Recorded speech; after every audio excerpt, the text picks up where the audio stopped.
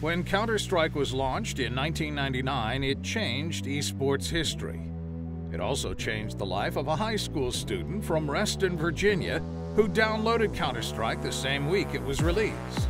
The student, Kyle Miller, joined a server and became K Sharp. What's the game you're playing right now on the side? I gotta be honest, I haven't played anything, anything but CS. K Sharp was the first true superstar of American CS and would win championships across three different versions of Counter Strike. He was a trailblazing competitor that helped change the way the game was played forever and inspired a generation of players at home and abroad. Oh, nice. K-Sharp is there once again. Today, the Esports Hall of Fame will recognize and honor Kyle Miller's contribution to esports. Today, he will become the third inductee and the first North American Counter-Strike player in the Hall of Fame.